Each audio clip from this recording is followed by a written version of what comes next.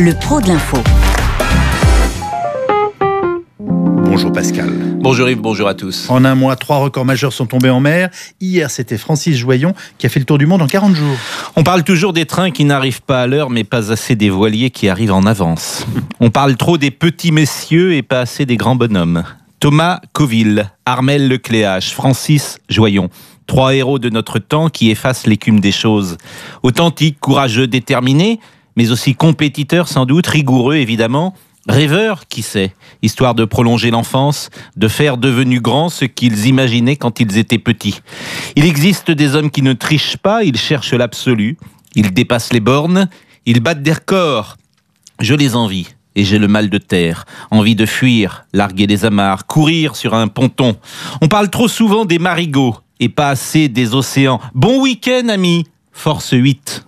Pascal Pro.